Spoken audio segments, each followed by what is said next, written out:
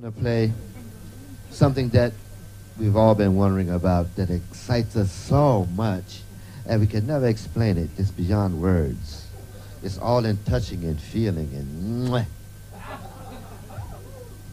Woo! I gotta explain it.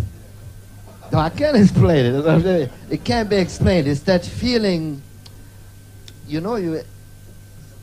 We're not going to play it as a ballad anyway. The name of this mysterious sound we're going to do, which is not mysterious, something that I hope all of us have tonight and always, and that we've been having.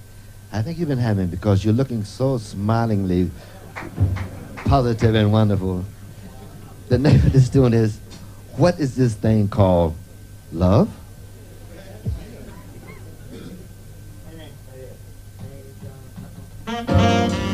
Bye.